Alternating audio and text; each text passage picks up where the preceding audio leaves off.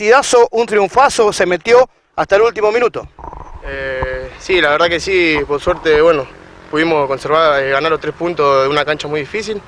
Eh, y bueno, nos vamos contentos a casa y ahora a seguir a festejar de la mejor manera, ¿no? Toto, un partidazo que metieron ellos, metió Sportivo también, y un segundo tiempo que a Sportivo le quedó, le quedaron espacio como para liquidarlo.